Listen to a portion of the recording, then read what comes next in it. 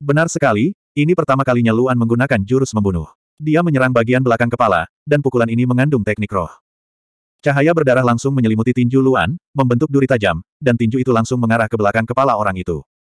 Bang! Pukulan itu tepat sasaran. Tinjunya menghantam bagian belakang kepala orang tersebut dengan keras, dan lonjakan darah di tinju tersebut menembus bagian belakang kepala langsung ke tengkorak. Tidak ada pelindung tulang di bawah bagian belakang kepala, dan ada celah yang besar. Entah itu kekuatan lonjakan darah atau tinju, itu sudah cukup untuk menembus daging dan darah, dan kekuatan kematian segera menyerbu ke dalam tengkorak, menghancurkan segala sesuatu yang tersembunyi di dalamnya. Organ-organnya terlalu rapuh, terutama organ di kepala, yang jauh lebih rapuh dibandingkan organ di batang tubuh. Setelah dihancurkan, lautan kesadaran dan sumber lautan kesadaran akan lenyap, dan orang tersebut akan mati di tempat. Di antara sepuluh orang, orang pertama meninggal. Selain orang ini, sudah ada lima orang yang terluka parah oleh Luan. Dengan kata lain, dalam waktu singkat, Luan telah membuat enam orang kehilangan kemampuan bertarung, dan hanya tersisa empat lawan. Terlebih lagi, keempat orang ini masih berada dalam jarak tiga kaki dari Luan.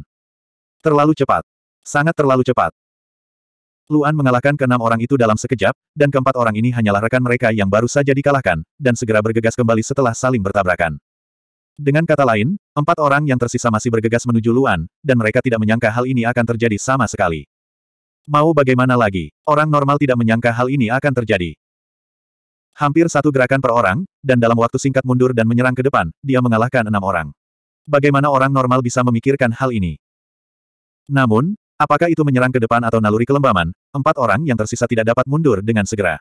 Hanya ada satu musuh di depan mereka, dan kekuatan musuh ini lebih rendah dari mereka. Mereka benar-benar tidak percaya bahwa orang ini bisa sekuat itu, dan dia baru saja membuat mereka lengah. Kelambanan pikiran lebih berbahaya daripada kelembaman tubuh. Melihat empat orang yang masih bergegas ke arahnya, meskipun Luan masih sangat berhati-hati, dia juga merasa lega. Artinya, hal yang paling dia khawatirkan tidak terjadi. Dengan mereka berempat mengambil inisiatif untuk menyerang ke depan, dia yakin bahwa dia bisa mengalahkan setidaknya dua dari mereka, atau bahkan mereka berempat. Mereka berempat bergegas menuju Luan. Mereka harus melewati orang yang telah dikalahkan. Untuk mencegah mereka berempat melepaskan diri dari kelambanan pikiran mereka dan mengembangkan mentalitas mundur, kali ini, Luan mengambil inisiatif untuk mengungkapkan celah dan membiarkan mereka menyerang. Mereka berempat bergegas pada saat yang sama, tapi Luan tidak bergerak sama sekali. Dia tidak mengambil inisiatif untuk bergegas ke segala arah, membiarkan mereka berempat mengelilinginya. Luan akan membiarkan orang-orang ini memukulnya, tapi Luan tidak akan pernah membiarkan orang-orang ini mengenai bagian vitalnya, sama seperti enam orang yang baru saja dia kalahkan. Sangat mudah untuk mencapai hal ini. Mereka berempat pada dasarnya menyerang dari empat arah secara bersamaan. Luan awalnya menghadap satu orang, tetapi ketika keempatnya tiba di waktu yang hampir bersamaan, Luan tiba-tiba berbalik, membuat dirinya berputar seperempat lingkaran, sehingga dia menghadapi dua orang pada saat yang bersamaan.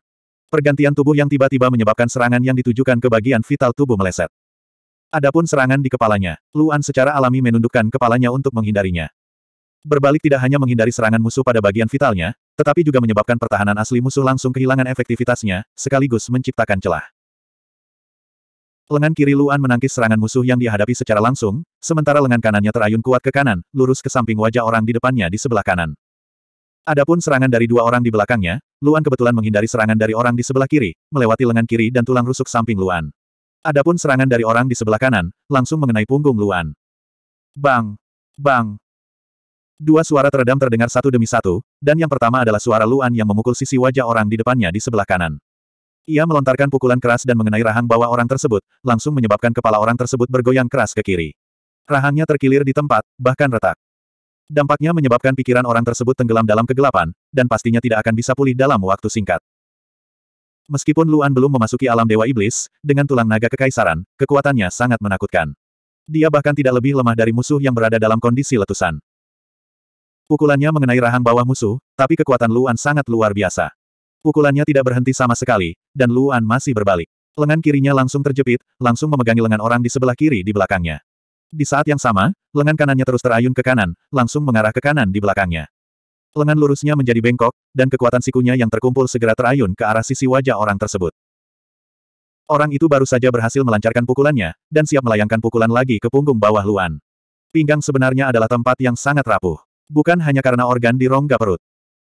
Lagi pula, Organ-organ di rongga perut tidak terlalu penting, namun karena tulang belakang di perut jauh lebih rapuh dibandingkan tulang belakang di dada, maka sangat mudah terkena pukulan, atau bahkan patah. Jadi, bang, bang, dua suara teredam terdengar hampir bersamaan. Pukulan musuh berhasil mengenai perut dan punggung Luan, dan siku Luan mengenai rahang bawah orang tersebut dengan keras. Kaca. Suara patah tulang bukan datang dari Luan, tapi dari musuh. Serangan sikunya lebih kuat daripada pukulannya, menyebabkan orang tersebut langsung kehilangan kesadaran. Lautan kesadarannya terkena dampak yang hebat, dan dia langsung jatuh ke tanah. Adapun perut dan tulang belakang Luan. Dalam keadaan normal, memang akan terluka, dan kemungkinan besar itu adalah cedera serius.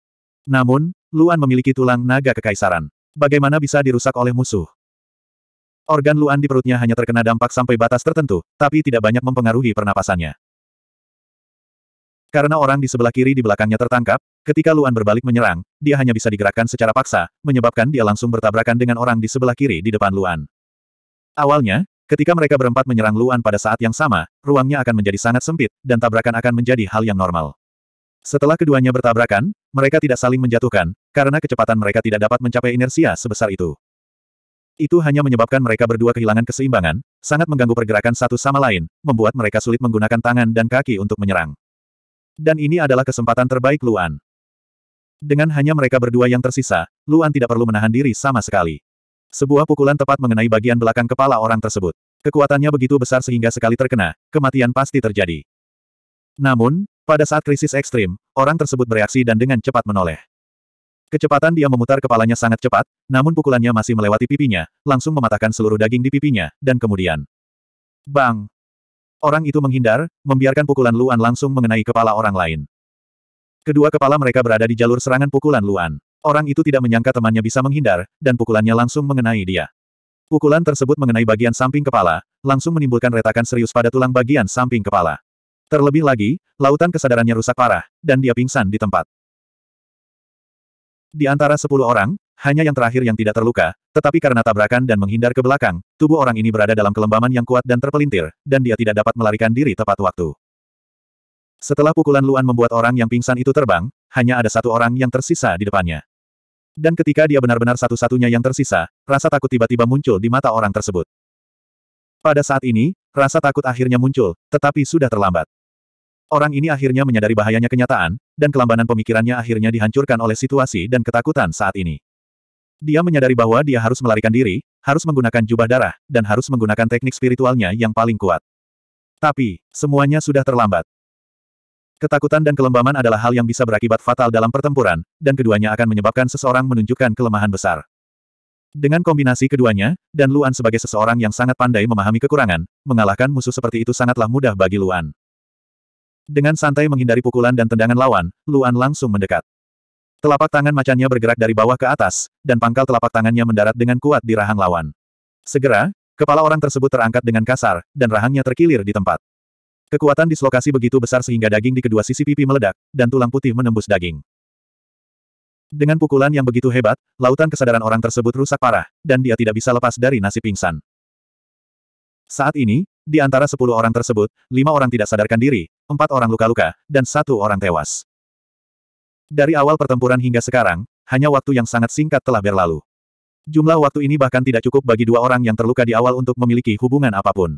Mereka terluka total dalam sekejap. Tapi Luan tidak berhenti. Dia tidak perlu membiarkan sepuluh orang tetap hidup, dan hanya perlu beberapa orang untuk diinterogasi. Luan segera menyerang keempat orang yang terluka itu.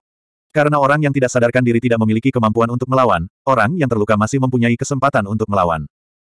Selain itu, dua dari empat orang tersebut tidak mengalami luka yang sangat serius, dan tidak butuh waktu lama bagi mereka untuk pulih.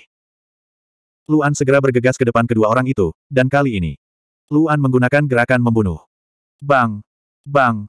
Dua aliran darah meledak di kepala kedua orang itu. Dua orang yang terluka hingga mereka tidak bisa bergerak tidak bisa melawan, dan mati di tempat.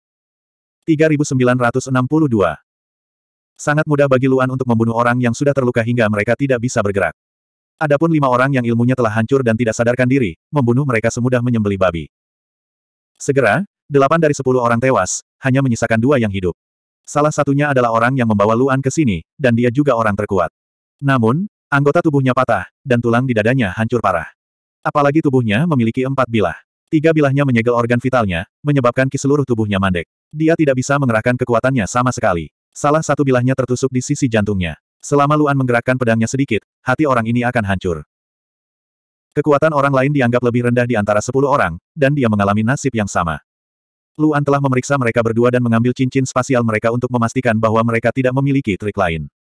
Jika dia tidak menyelamatkan mereka, kedua orang yang tertancap di tanah akan segera mati karena luka-luka mereka. Jika mereka orang biasa, mereka pasti sudah lama mati. Hal yang sama juga terjadi pada guru surgawi biasa.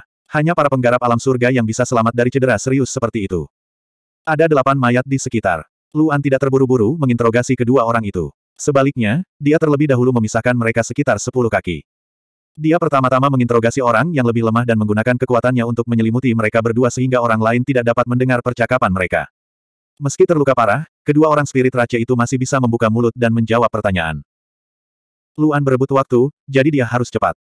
Segera, Luan meninggalkan orang yang terluka itu dan menghentikan interogasi. Namun, dia tidak menghapus batasan pada orang tersebut. Sebaliknya, dia keluar dari batasan dan mendatangi orang lain yang berada sepuluh kaki jauhnya. Orang inilah yang membawa Luan ke sini. Dia tidak pernah mengharapkan hasil seperti itu. Dia melihat dengan matanya sendiri bahwa Luan berjalan di depannya dan berjongkok, menatap dia yang terbaring di genangan darah. Meskipun Luan tidak melepaskan kekuatannya untuk menyegel kedua orang itu, tidak masalah apakah tempat ini disegel atau tidak karena orang lain telah disegel. Jawab apa pun yang aku minta padamu. Luan memandang orang yang tergeletak di tanah dengan acuh tak acuh dan berkata dengan dingin, jika ada kesalahan, lihatlah delapan orang di sekitarmu. Kamu akan berakhir seperti mereka.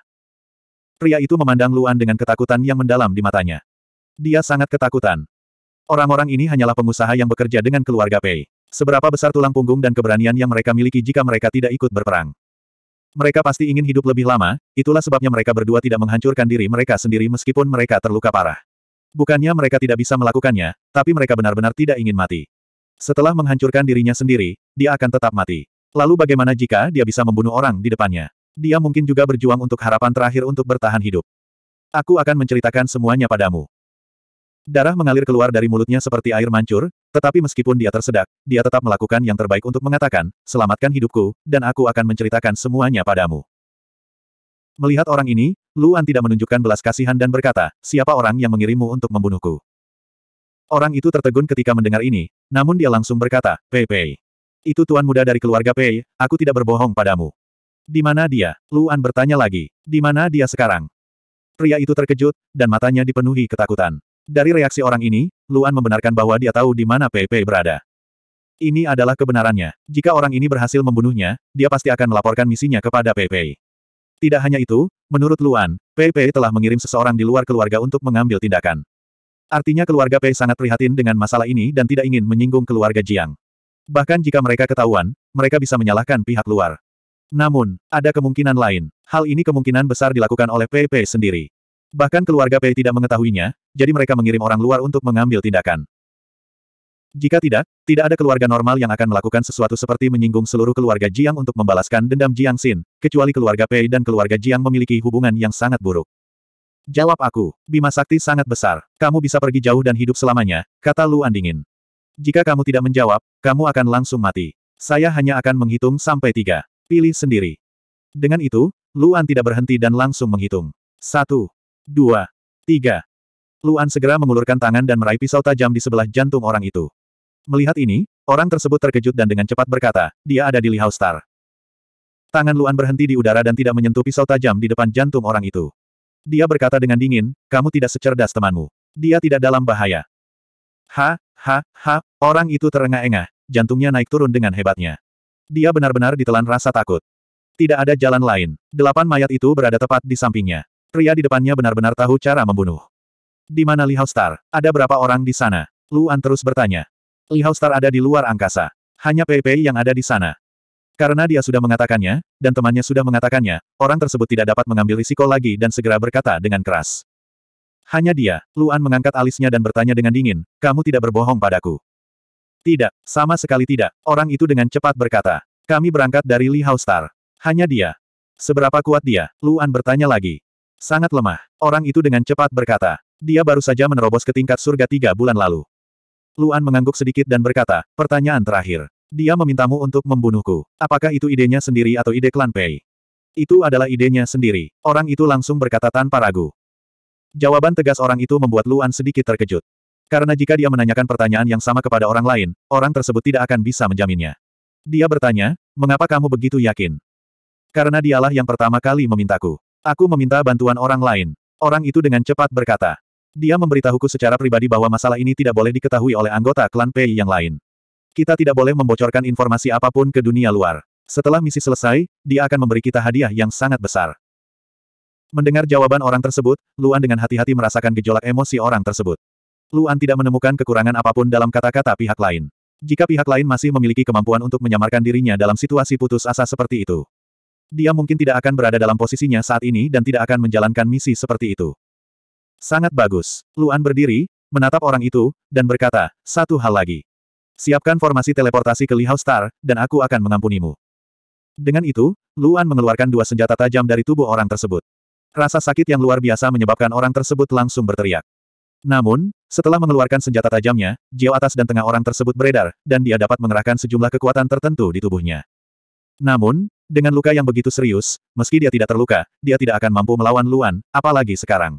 Orang ini bahkan tidak berpikir untuk menolak. Belum lagi Luan, prajurit tingkat surga lainnya bisa membunuhnya. Untuk bertahan hidup, dan karena dia sudah sampai sejauh ini, dia telah mengatakan semua yang perlu dikatakan. Tidak masalah jika dia mengatur formasi teleportasi pada akhirnya. Orang tersebut segera mengerahkan kekuatan di tubuhnya dan melepaskannya keluar, secara bertahap membentuk formasi teleportasi. Di saat yang sama, Luan menggunakan kekuatan kematian untuk membentuk penghalang di antara mereka berdua sehingga mereka tidak bisa melihat satu sama lain. Dia juga melepaskan segel kekuatan di sekitar orang lain dan berkata kepada orang lain, siapkan formasi teleportasi. Jika kalian berdua menggunakan formasi teleportasi yang berbeda, salah satu dari kalian akan mati. Keduanya berasal dari Li Hao Star, dan keduanya memiliki susunan teleportasi Li Hao Star. Keduanya segera mengatur formasi teleportasi yang terhubung dengan formasi teleportasi Li Hao Star. Tentu saja, Luan tidak akan langsung masuk. Dia pertama kali berjalan ke formasi teleportasi orang yang membawanya ke sini dan menyentuhnya dengan lembut dengan telapak tangannya.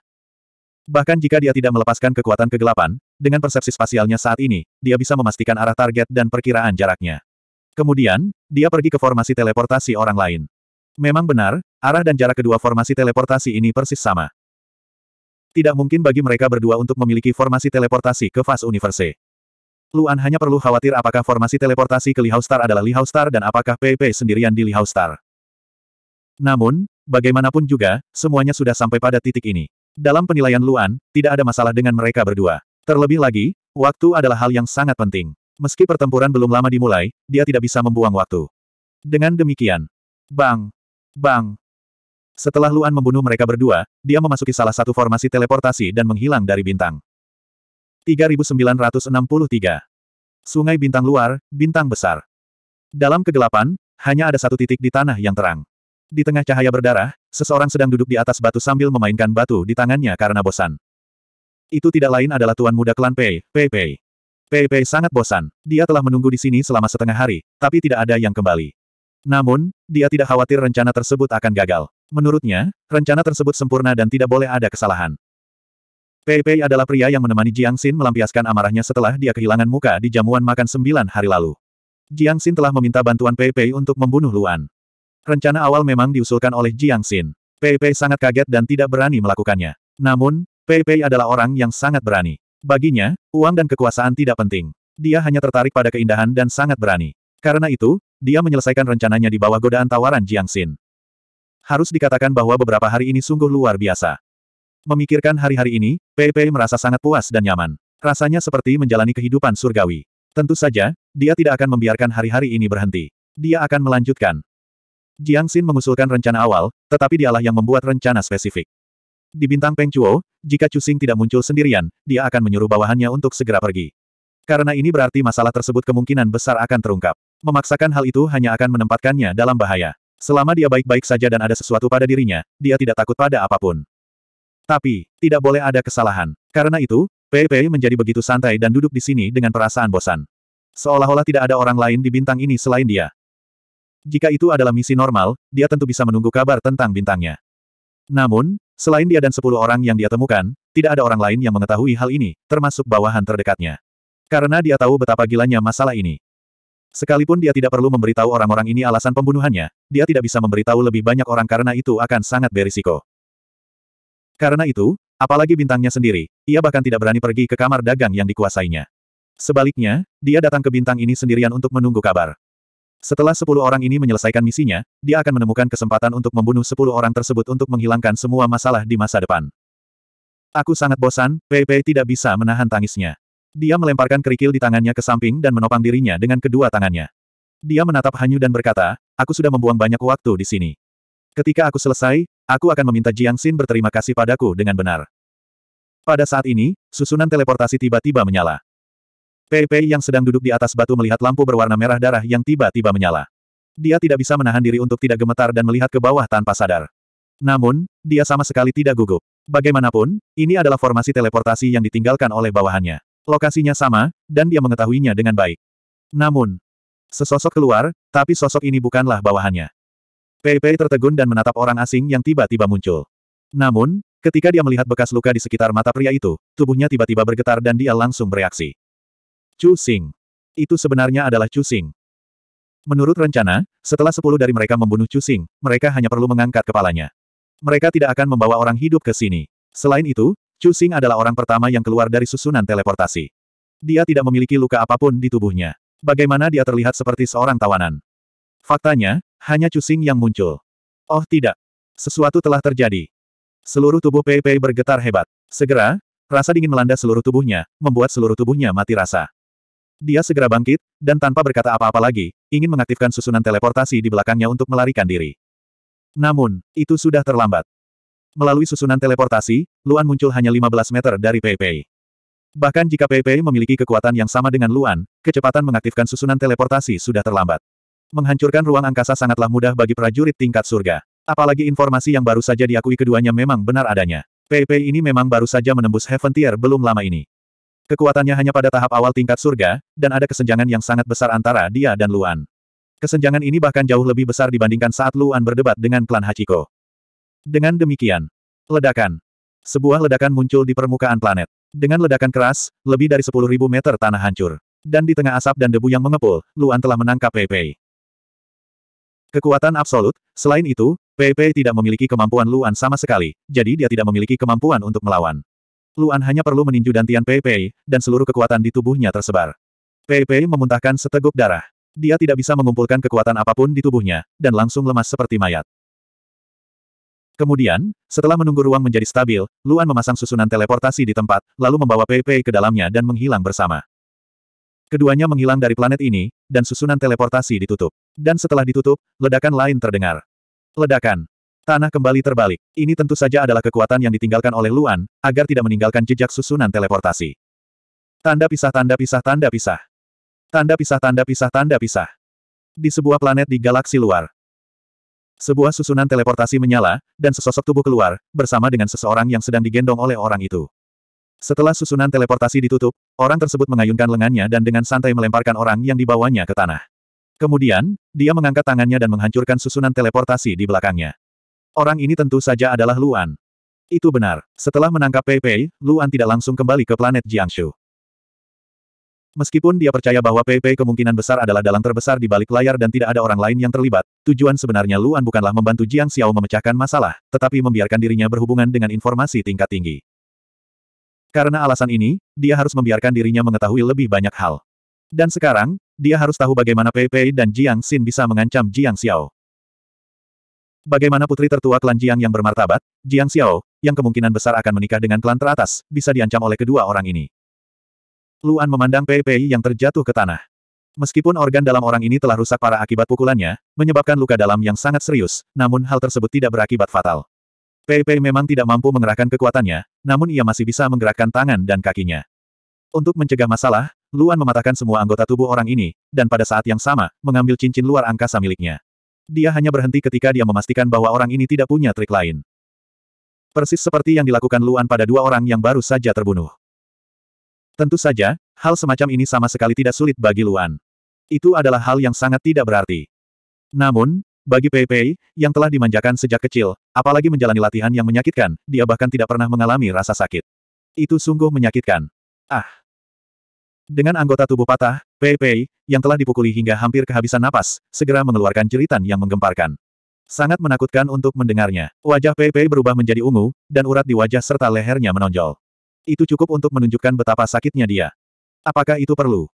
Mendengar teriakan orang ini, Luan sedikit mengernyit. Bahkan kedua orang tadi tidak berteriak berlebihan. Pei ini terlalu lemah. Namun, Luan tidak punya waktu untuk mendengarkan teriakan orang lain. Pertama-tama, dia tidak yakin apakah orang di depannya adalah Pei. Kedua, meskipun itu adalah Pei, bukan berarti dia tidak perlu berebut waktu. Dia harus kembali secepat mungkin untuk memberitahu Jiang Xiao bahwa dia tidak melakukan apa pun tambahan. Lagi pula, setelah mengetahui kelemahan Jiang Xiao, dia mungkin tidak menggunakannya untuk mengancam Jiang Xiao. Jika kamu berteriak lagi, aku akan menggorok lehermu, kata Luan lirih. Kata-kata Luan langsung masuk ke telinga Pei Pei. Meskipun dia takut sakit, dia lebih takut mati. Oleh karena itu, dia segera menutup mulutnya dan mengatupkan giginya untuk menutup diri. Jeritan itu berhenti tiba-tiba, tapi terdengar helaan napas yang keras. Wajah Pei Pei terus melotot, yang cukup menunjukkan betapa kerasnya dia berusaha menahan rasa sakit. Dia adalah orang yang sangat takut dengan kematian. Kamu harusnya tahu siapa aku. Luan menatap Pei Pei, yang terbaring di tanah dan tidak bisa bergerak. Dia berkata, Anda harus menjawab apa pun yang saya minta. Anda harus menjawab segera tanpa ragu-ragu. Saya sudah punya banyak informasi. Jika Anda ragu atau berbohong. Luan mengangkat jarinya dan menunjuk ke organ dalam Pei Dia berkata, jika kamu ragu sekali saja, aku akan menghancurkan salah satu organ tubuhmu. Jika kamu berbohong, aku akan mengambil nyawamu secara langsung. 3964 Mendengar ancaman Luan, Pei menggigil, dan urat biru muncul di wajahnya. Jangan bunuh aku, jangan bunuh aku. Pei berteriak, aku akan menceritakan semuanya padamu. Saya akan memberitahu Anda semua yang ingin Anda ketahui. Jangan bunuh aku. Jangan bunuh aku. Meskipun ekspresi Luan masih dingin dan galak, hatinya sangat terkejut. Tentu saja, dia berpura-pura galak, tapi dia benar-benar tidak peduli dengan kehidupan Pei Pei. Dia hanya tidak menyangka Pei Pei begitu takut mati. Dia berpikir bahwa Tuan Muda Klan Pei tidak akan lebih lemah dari prajurit alam surgawi biasa di klan, tapi dia tidak menyangka Pei Pei lebih buruk dari dua orang tadi. Bagus sekali, kata Luan dingin, katakan padaku siapa kamu yang pertama. Begitu kata-kata ini keluar, Pei Pei langsung tercengang. Faktanya, Pei Pei yakin bahwa Qin Haodong mengetahui identitasnya, tetapi dia terkejut dengan pertanyaan tiba-tiba Qin Haodong. Jika Qin Haodong tidak mengetahui identitasnya, mungkin dia bisa menyembunyikannya, karena semakin banyak identitasnya terungkap, semakin mudah mati. Lagi pula, jika dia mengatakan dia adalah tuan muda klan Pei, Qin Haodong mungkin akan membunuhnya karena identitasnya. Dia tertegun, jadi dia berhenti. Berpikir hanya membuang-buang waktu. Jadi, Luan mengangkat tangannya, dan cahaya berdarah keluar dari jarinya dan masuk ke organ Pei Pei. Paru-paru kiri. Bang! Mata Pei Pei membelalak, dan dia merasakan separuh ki dan darahnya stagnan. Dia membuka mulutnya dan terengah-engah. Meskipun prajurit alam surgawi tidak akan mati lemas karena mereka dapat menyerap energi dari langit dan bumi, paru-paru yang rusak akan berdampak besar pada sirkulasi ki dan darah di seluruh tubuh. Ada celah setengah kepalan tangan di paru-paru kiri Pei Pei, melewati bagian depan dan belakang dan sangat dekat dengan jantungnya. Ah! Pei Pei berteriak, dan Luan mengerutkan kening. Dia mengangkat tangannya dan langsung menuju ke leher Pei Pei. Bang! Tenggorokan Pei Pei langsung dibelah, menyebabkan suara Pei Pei menjadi pelan. Darah mengucur dari tenggorokannya seperti mata air yang berdeguk. Namun, itu adalah darah. Ku bilang jangan berteriak, atau aku akan menggorok lehermu. Luan berkata dengan dingin, dan jangan ragu. Pemikiranmu akan menunda waktuku dan mempengaruhi kepercayaanku padamu. Jika aku tidak mempercayaimu, aku tidak akan mengampuni nyawamu. Sekarang, Pei Pei tidak bisa berteriak meskipun dia menginginkannya. Dia melebarkan matanya dan menatap pria yang berdiri di sampingnya dengan ketakutan. Dia belum pernah terluka seumur hidupnya, apalagi rasa sakit seperti ini. Ini adalah dampak yang belum pernah dialami sebelumnya, dan pencegahan yang ditimbulkannya telah mencapai tingkat yang tidak terbayangkan. Di matanya, Cusing ini adalah iblis. Meski tenggorokan mereka dibelah dan tidak dapat berbicara, bukan berarti mereka tidak dapat berkomunikasi. Pei Pei segera mengirimkan transmisi suara ke Luan dengan akal sehatnya. Aku Pei Pei, saya Pei Pei. Luan kejam dan tanpa ampun, menyebabkan Pei Pei benar-benar kehilangan kemampuannya untuk berpikir dan melepaskan segala pemikiran untuk melawan. Apa pun yang ditanyakan pihak lain, dia akan menjawab. Hanya dengan memuaskan pihak lain barulah dia memiliki kesempatan untuk hidup. Kalau tidak, orang ini akan benar-benar membunuhnya. Tuan muda dari keluarga Pei, kan? Luan mengangguk sedikit dan berkata, pertanyaan kedua, bagaimana kamu dan Jiang Xin mengendalikan Jiang Xiao dan membuatnya mendengarkanmu? Karena aku tidur dengannya, Pei Pei segera menjawab dengan Divine Sense-nya tanpa ragu-ragu. Tempat tidur. Luan terkejut dan berkata, dengan siapa? Jiang Xiao, nona muda tertua klan Jiang. Pei Pei segera menjawab, karena kesakitan, matanya terbuka lebar. Untuk membebaskan dirinya dari rasa sakit sesegera mungkin, dia dengan cepat mengirim pesan dengan Divine Sense-nya. Aku tidur dengan Jiang Xiao. Kerutan di dahi Luan semakin dalam. Apa maksudnya ini? Mungkinkah Jiang Xin memergoki Jiang Xiao dan Pei Pei berselingkuh? Bersikaplah spesifik. Luan berkata dengan dingin, aku tidak punya kesabaran. Tanda pisah tanda pisah tanda pisah. Tanda pisah tanda pisah tanda pisah. Galaksi Roh, Bintang Jiang Shou. Di halaman tengah istana kerajaan, Jiang Xiao dan Jiang Xin masih berada di dalam istana. Pintu istana tertutup rapat, dan suara mereka tidak terdengar. Setelah kematian Chu Xing, jika kamu masih berani mengancamku, kamu harus tahu konsekuensinya. Jangan pernah muncul di hadapanku lagi. Kalau tidak, aku akan memastikan kamu mati tanpa mayat utuh. Ini adalah kata-kata Jiang Xiao, menyebabkan wajah Jiang Xin menjadi sangat dingin. Dia sudah memikirkan semua jalannya. Tentu saja, dia bukan satu-satunya. Pei Pei juga memikirkannya. Jiang Xin tahu orang seperti apa Pei Pei itu. Dia bahkan tidak berani membayangkan apa yang akan dilakukan orang ini demi kecantikannya. Di antara semua orang yang dia kenal, hanya Pei Pei yang bisa membantunya melaksanakan rencana seperti itu. Sejauh ini rencananya berjalan lancar, yang membuatnya semakin percaya pada penilaian dan rencana Pei Pei. Setelah beberapa napas, seringai muncul di wajah Jiang Xin, menggantikan ekspresi serius sebelumnya. Dia memandang Jiang Xiao dan berkata, Bibi, apakah kamu benar-benar tidak berperasaan? Seperti kata pepatah, sehari sebagai suami istri berarti pengabdian yang tiada habisnya. Bibi dan Pei menghabiskan dua hari bersama, bertemu dan berbaur satu sama lain. Bisakah kebaikan seperti ini diputus begitu saja? Mendengar Jiang Xin menyebutkan masalah ini lagi, wajah Jiang Xiao menjadi lebih dingin. Dia berkata, kebaikan, aku hanya tidak mengira kamu akan menyakitiku. Menyakiti. Jiang Xin menggelengkan kepalanya dan berkata tanpa daya, mulut bibi sangat keras kepala. Tubuhmu tidak berpikir demikian. Bibi mengerang dan memohon kenikmatan di tempat tidurnya, tapi aku pun tersipu saat melihatnya. Anda tahu bagaimana melakukannya, dan itu benar-benar membuka mata saya. Tidak ada seorang pun yang tidak mau melihat persatuan yang begitu menggembirakan. Bahkan jika orang lain mengetahui hal ini, siapa yang akan percaya bahwa akulah yang menyakitimu? Siapa pun yang melihatnya akan mengatakan bahwa Anda memfitnah saya dan memaksa saya menjadi kambing hitam. Jiang Xin berkata sambil tersenyum, ketika saatnya tiba, saya tidak hanya akan baik-baik saja, tetapi pernikahan Anda dengan klan teratas pasti akan dibatalkan. Saya tidak percaya bahwa seseorang dari klan teratas akan dikhianati. Dan klan Jiang tidak akan mentolerirmu. Jika ringan, mereka akan mengurung Anda selamanya. Jika berat, mereka akan mengeluarkan Anda dari klan atau bahkan mengambil nyawa Anda. Lagi pula, jika mereka tidak melakukan ini, klan Jiang tidak akan bisa menjawab pertanyaan klan teratas. Jiang Xiao memandang Jiang Xin dengan dingin dan berkata dengan keras, itu karena kamu meracuniku. Racun, siapa yang bisa membuktikannya? Jiang Xin berpura-pura terkejut dan berkata, Bibi, jangan memfitnahku. Aku keponakanmu yang baik, bagaimana aku bisa menyakitimu? Anda. Jiang Xiao mengertakkan giginya, tapi dia dengan cepat menarik napas dalam-dalam dan menenangkan diri. Jiang Xin benar, tidak ada yang mengira dia terpaksa melakukannya. Terlebih lagi, jika adegan ini menyebar, dia lebih tahu daripada Jiang Xin betapa serius konsekuensinya. Dia pasti akan dikeluarkan, dan sebelum itu, dia mungkin akan dihukum berat. Jika dia meninggalkan klan Jiang, kekuatan Jiang Xiao akan hilang. Dengan kekuatannya, dia bukan siapa-siapa di Spirit Galaxy. Dan begitu dia meninggalkan klan Jiang, klan teratas kemungkinan besar akan mengirim orang untuk membunuhnya dan menghilangkan rasa malunya. Bahkan jika klan Jiang mengetahuinya, mereka tidak akan keberatan. Pengusiran pada dasarnya berarti kematian. Harus dikatakan bahwa rencana kedua orang ini sempurna. Sekalipun dia diperkosa, dia tidak akan diusir. Paling-paling, pernikahannya dengan klan teratas akan hancur, dan dia bisa menerimanya. Tapi karena dia mengambil inisiatif untuk bekerja sama, klan Jiang tidak akan mentolerirnya. Siapa pun dapat melihat bahwa bahkan setelah membunuh Chu Xing, Jiang Xin tidak ingin melepaskannya. Apa yang kamu inginkan? Jiang Xiao bertanya dengan berat. Bukan aku, ini kita, terutama dia. Jiang Xin berkata sambil tersenyum, aku belum pernah melihatnya begitu bahagia di ranjang bersama siapa pun. Bibi adalah yang pertama, sungguh mengesankan. Saat ini, ketertarikannya padaku jauh lebih kecil, tapi dia sangat tertarik padamu. Permintaanku padamu bukanlah apa-apa. Bunuh Luan untuk menghilangkan kebencian di hatiku, dan aku tidak menginginkan yang lain. Tapi dia pasti akan lebih sering berhubungan intim dengan Anda, jadi Anda harus lebih banyak melayaninya di masa depan.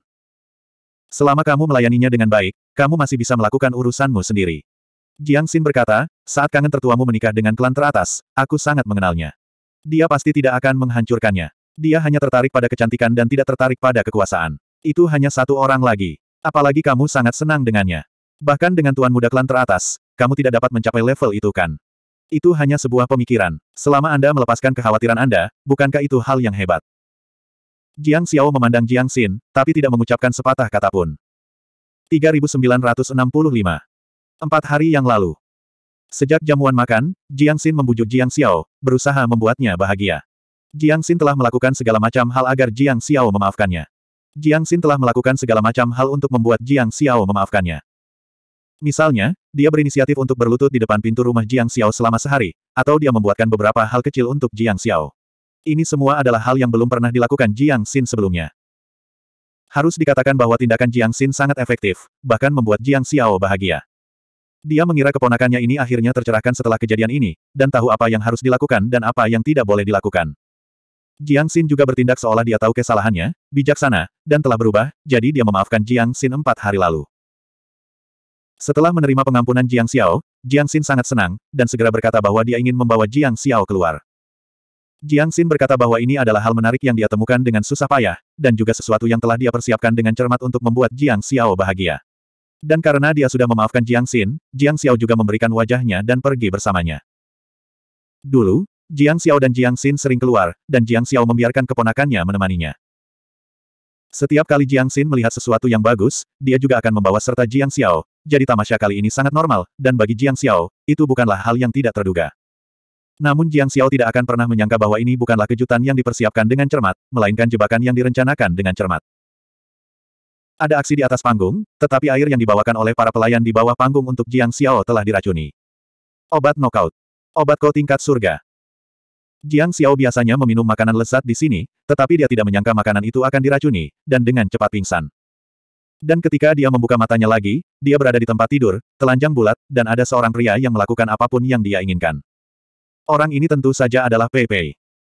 Setelah jamuan makan, Jiang Xin meminta Pei Pei membantu membunuh Chu Xing. Rencananya saat itu adalah menjalin hubungan antara Pei Pei dan Jiang Xiao, dan kemudian mengancam Jiang Xiao untuk mengambil nyawa Chu Xing. Awalnya Pei Pei menolak, karena hal ini terlalu menakutkan. Meskipun dia penuh nafsu, dia juga menghargai hidupnya.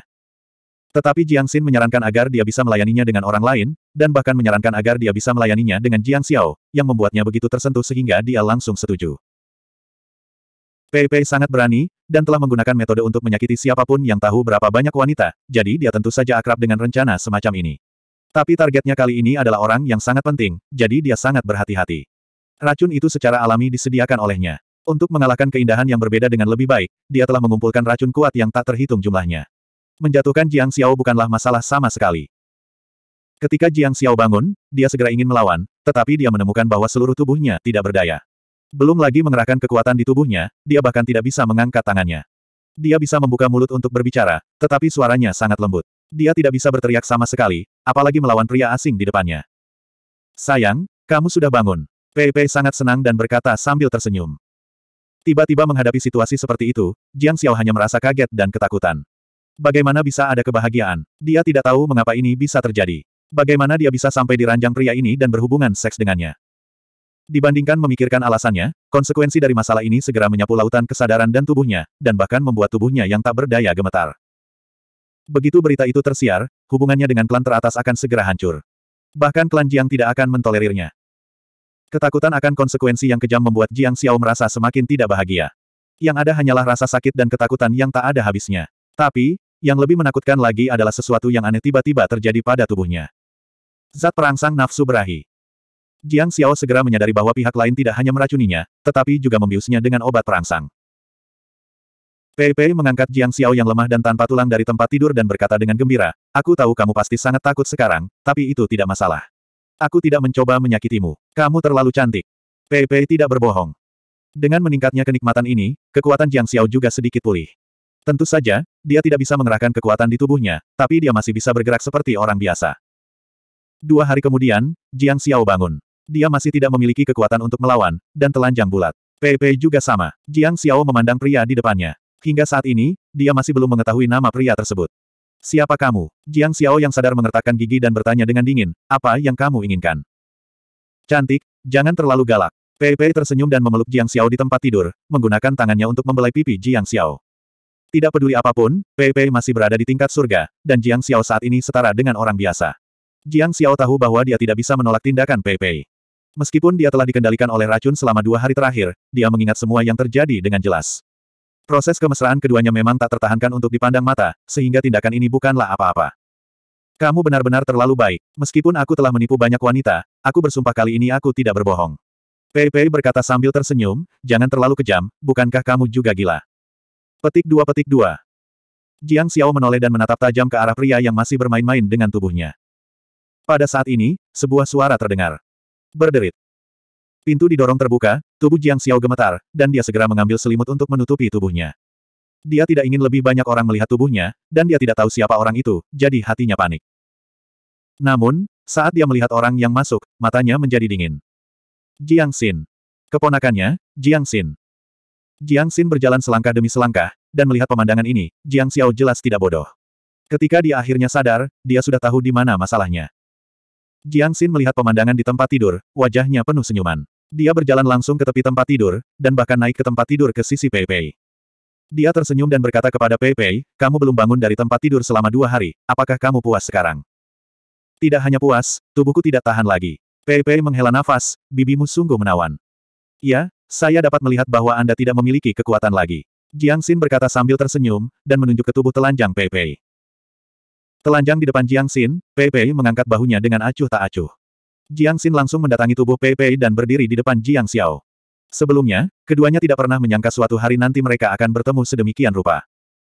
Jiang Xiao memandang Jiang Xin dengan dingin, tetapi tidak berbicara. Jiang Xin juga tidak berbicara, malah dia meraih selimut di tubuh Jiang Xiao, dan dengan menariknya, selimut itu dibuang. Selimut itu terbang ke tanah di luar tempat tidur, dan Jiang Xiao yang tidak berdaya tidak dapat melawan Jiang Xin. Tubuh telanjangnya segera diekspos ke Jiang Xin tanpa syarat apa pun. Jiang Xiao langsung panik. Dia sudah berhubungan S3 kilo detik dengan pria ini, jadi tidak masalah untuk menunjukkannya lagi. Namun, menunjukkannya kepada seorang wanita bahkan lebih memalukan, terutama pada putrinya sendiri. Dia dengan cepat mencoba memblokirnya dengan tangannya, tapi Pei Pei meraih tangannya. Seluruh tubuhnya ditekan oleh kekuatan alam surga, dan dia tidak bisa bergerak sama sekali. Apa yang perlu disesali? Hal-hal indah harus diapresiasi oleh orang lain.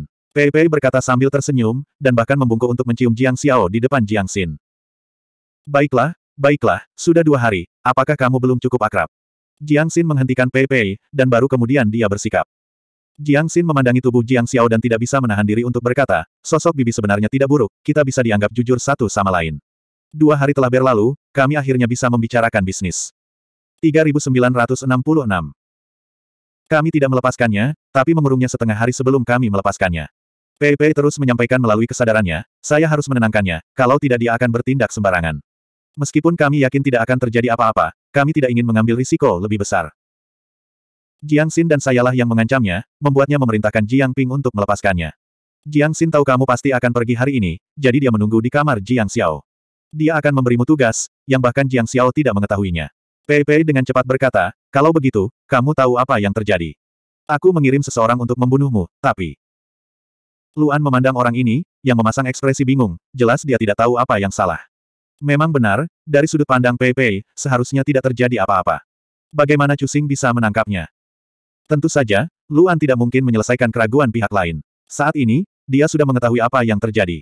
Tapi dia benar-benar tidak menyangka Jiang Xin akan menggunakan metode seperti itu untuk mengendalikan Jiang Xiao.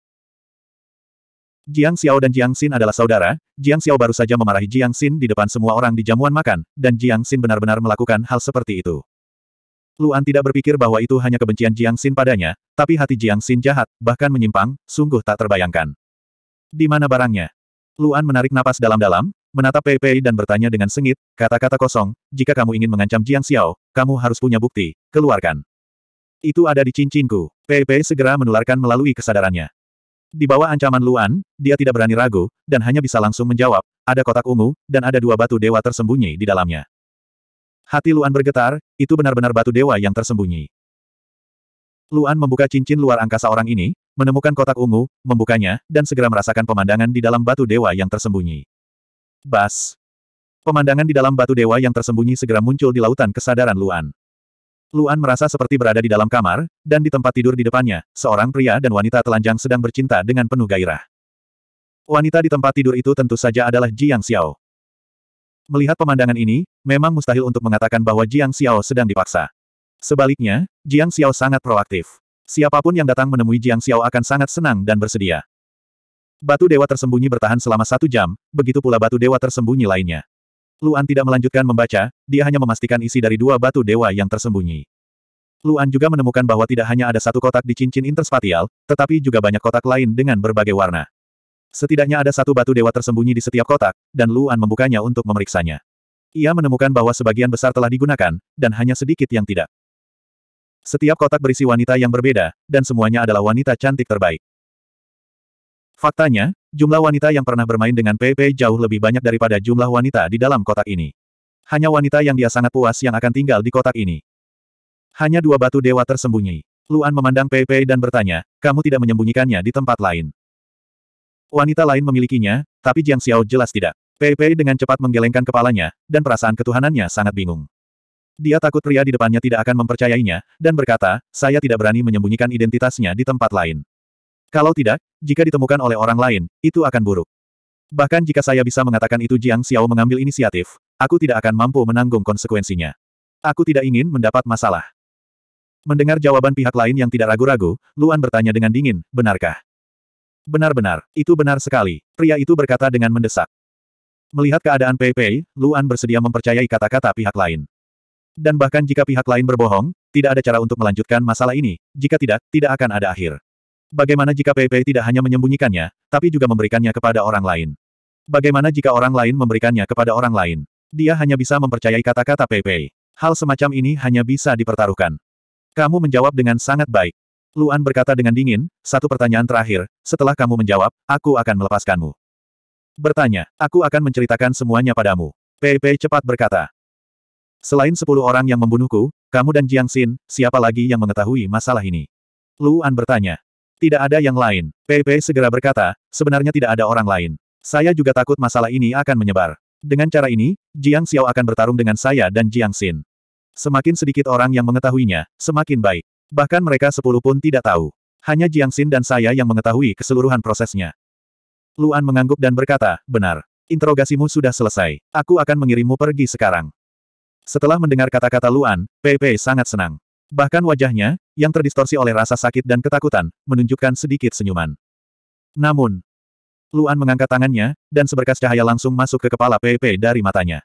Kekuatan maut segera menghancurkan seluruh organ di kepalanya. Laut spiritual dan sumber laut spiritualnya hancur total. Bahkan sumber laut spiritualnya tidak dapat melarikan diri. Pepe tewas di tempat. Luan tidak menghancurkan mayatnya. Sebaliknya, dia memasukkan mayat Pei ke dalam cincin interspatial Pei. Dia melihat noda darah di tubuhnya. Pakaian ini sangat mahal. Bagaimanapun juga, itu adalah pakaian dari alam surga. Dia bisa langsung menggunakan kekuatannya untuk menghilangkan noda darah. Ini bukanlah darah Pei tapi darah sepuluh orang sebelumnya. Setelah membiarkan semua darah di tubuhnya menghilang, Luan membuka susunan teleportasi dan menghilang dari bintang. Tanda pisah tanda pisah tanda pisah. Tanda pisah tanda pisah tanda pisah. Galaksi Roh, Bintang Jiang Shou. Array teleportasi muncul di istana teleportasi. Penjaga itu segera gemetar dan dengan cepat menoleh untuk melihat.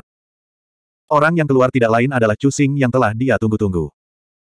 Penjaga itu segera bergegas ke Chu dan dengan cepat bertanya, apakah kamu baik-baik saja? Saya baik-baik saja, jawab Chu dengan sikap dinginnya yang biasa. Ke mana orang itu membawamu? Penjaga itu bertanya lagi, dan bukankah susunan teleportasinya hancur? Bagaimana kamu kembali? Saya kembali ke Jiang Seng Star dan kemudian datang ke sini. Chu berkata dengan tidak sabar, saya punya sesuatu untuk dilaporkan kepada Nona Besar. Saya tidak punya waktu untuk berbicara dengan Anda. Mengatakan itu, Chu Xing berjalan mengitari penjaga dan berjalan menuju pintu istana. Penjaga itu tercengang. Dia tidak menyangka Chu Xing bersikap tidak masuk akal. Benar-benar menjengkelkan. Namun, saat Chu Xing sampai di pintu istana, dia tiba-tiba berhenti. Dia menoleh ke penjaga dan bertanya, apakah Anda melaporkan kepada Nona Besar tentang saya? Tidak. Penjaga itu langsung menjawab, sesuai permintaan Anda, saya tidak melapor. Cusing mengangguk sedikit, tetapi bertanya lagi, saat aku pergi, siapa yang kembali dari luar? Apakah ada yang pergi menemui nona besar? Ah, penjaga itu tertegun, namun segera menjawab, tidak. Saya yakin. Luan tidak pergi lama-lama. Selain itu, Jiang Xiao tidak memperjuangkan posisi kepala klan dan tidak mengatur pasukannya sendiri. Sangat sedikit orang yang keluar masuk istana. Memang benar, tidak ada yang pergi mencari nona besar. Setidaknya tidak ada yang melewati istana teleportasi untuk menemui nona besar. Cusing mengangguk lagi. Kemudian, tanpa pamit, dia berbalik dan pergi, menghilang dari istana teleportasi. Tanda pisah tanda pisah. Tanda pisah tanda pisah. Di tengah istana, di halaman istana. Bagaimana itu? Apakah kamu jatuh cinta padanya? Jiang Xin melihat bahwa Jiang Xiao tidak menjawab. Dia tersenyum dan berkata, dia memang tidak buruk. Dia tahu bagaimana membuat wanita bahagia. Banyak wanita yang diperkosanya masih tidak bisa meninggalkannya. Mereka berinisiatif meminta berhubungan seks dengannya. Di antara mereka, banyak pula wanita yang sudah menikah. Di hadapan orang luar, Anda bisa terus menjadi nona besar yang terhormat dan menjadi istri yang baik di masa depan. Pada saat yang sama, Anda dapat menikmati lebih banyak kebahagiaan. Bukankah itu luar biasa? Saya sangat murah hati. Saya tidak cemburu sama sekali. Jiang Xin merentangkan tangannya dan berkata, pikirkan betapa bahagianya kamu selama dua hari itu. Apakah kamu tidak melewatkannya? Jiang Xiao mengerutkan kening dan berkata dengan dingin, kamu ingin menyeretku turun bersamamu. Kamu tidak bisa mengatakan itu. Ini yang disebut berbagi kebahagiaan. Jiang Xin tersenyum dan berkata, Bibi dulu memberiku hal-hal baik. Sebagai keponakannya, bagaimana aku bisa pelit, bukan? Dengan kecantikan, bentuk tubuh, dan kemampuan Anda, Anda dapat mengendalikannya di telapak tangan Anda. Masa depannya tidak terbatas. Anda mungkin bukan orang yang dirugikan. Jiang Xiao memandang Jiang Xin dan berkata dengan dingin, siapa dia? Cek cek, aku tidak bisa memberitahumu sekarang. Jiang Xiao tersenyum dan berkata, tunggu beberapa kali lagi. Jika kamu mau, dia sendiri yang akan memberitahumu. 3967 Di dalam istana, dua orang, satu berdiri dan satu lagi duduk. Yang duduk tentu saja adalah Jiang Xiao, setelah mendengar jawaban Jiang Xin, dia mengerutkan kening. Baginya, yang terpenting adalah mengetahui identitas orang di balik layar, selama dia bisa mengetahui siapa pria yang tidur bersamanya, semuanya akan terselesaikan. Jika dia tidak mengetahui identitas pria itu, meskipun dia memiliki banyak metode, dia tidak akan bisa menggunakannya. Misi yang diberikan Jiang Xiao kepada Chu Xing adalah untuk mencari tahu identitas orang di balik layar. Sekarang dia telah pergi selama beberapa waktu, dia tidak tahu bagaimana kelanjutannya. Akan lebih baik jika Chu Xing dapat mengetahui identitas orang di balik layar, tetapi bahkan Jiang Xiao pun dapat membayangkan betapa sulitnya, atau bahkan tidak mungkin, hal itu. Jiang Xin telah merencanakan untuk melakukan hal sebesar itu, bahkan berani mengambil tindakan terhadapnya, bagaimana dia bisa memberi Chu Xing kesempatan untuk melawan. Biasanya, Chu Xing hanya memiliki dua hasil, satu terbunuh, yang lain tidak terbunuh, dan untungnya melarikan diri. Tidak peduli yang mana, itu sangat merugikan Jiang Xiao. Jiang Xiao hanya bisa menerima hasil mengetahui identitas orang di balik layar, hasil lainnya tidak sesuai dengan keinginannya. Chu Xing akan hancur. Sejujurnya, Jiang Xiao membiarkan Chu Xing melakukan sesuatu yang merugikannya. Tentu saja, Jiang Xiao bisa membiarkan Luan mati tanpa berkata apa-apa, tapi dia tahu bahwa meskipun Chu Xing meninggal, kedua orang ini tidak akan membiarkannya pergi. Keduanya sudah berani sejauh ini. Bagaimana mereka bisa melepaskan ikan besar seperti dia hanya dengan membunuh Chu Xing? Bahkan jika Jiang Xin bersedia, pria itu tidak akan bersedia.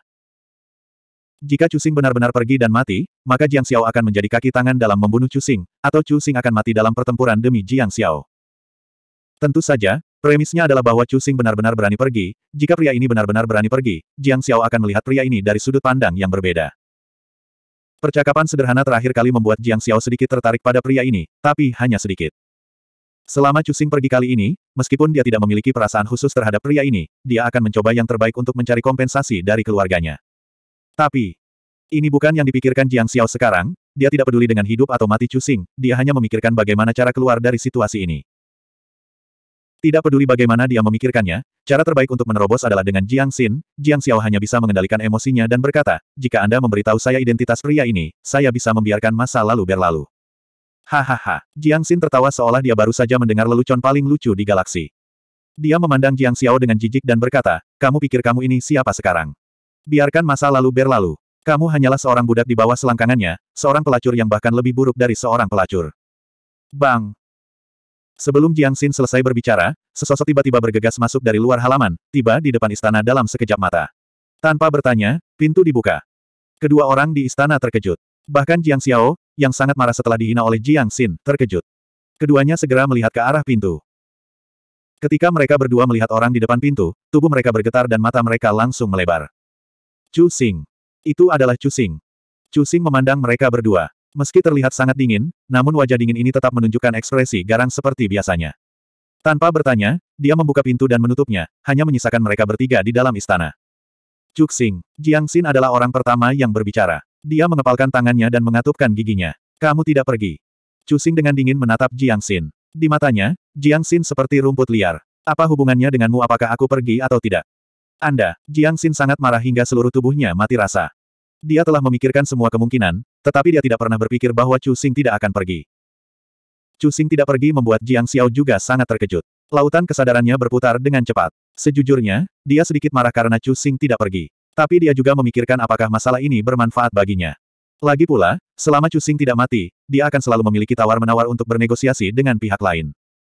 Namun, saat kedua gadis itu berpikir, Chu Xing bergerak. Setelah menutup pintu, dia berjalan menuju kedua gadis itu. Tepatnya, dia berjalan menuju Jiang Xiao. Meskipun perbedaan antara pria dan wanita di galaksi roh tidak seketat di galaksi surgawi, perbedaan antara atasan dan bawahan bahkan lebih ketat lagi. Tanpa izin, status Luan sebagai bawahan tidak akan mengambil inisiatif untuk berjalan menuju Jiang Xiao. Dan dengan sikap acuh tak acuh, seolah-olah Jiang Xiao bukanlah atasan di matanya. Tindakan Cusing mengejutkan Jiang Xiao dan Jiang Xin sejenak. Jiang Xin berdiri di depan Jiang Xiao. Dia secara pribadi melihat Luan berjalan menuju Jiang Xiao. Meskipun dia bukan targetnya, dia semakin dekat dengannya. Dia tidak tahu kenapa, tapi Jiang Xin sangat takut pada pria ini, jadi dia mau tidak mau mundur setengah langkah. Tapi itu hanya setengah langkah. Dia tidak bisa membiarkan dirinya menunjukkan kelemahan dan ketakutan di depan pria ini. Berdebar. Berdebar. Berdebar. Cusing berjalan selangkah demi selangkah di depan Jiang Xiao, melewati Jiang Xin. Namun, tepat pada saat ini, sesuatu yang aneh terjadi. Jiang Xin berjarak kurang dari satu lengan ke kiri Cusing. Dia melihat Luan tiba-tiba menyerang. Tanpa peringatan apa pun, tubuhnya bergerak ke kiri, dan tangan kanannya mendarat dengan keras di dantian Jiang Xin. Bang!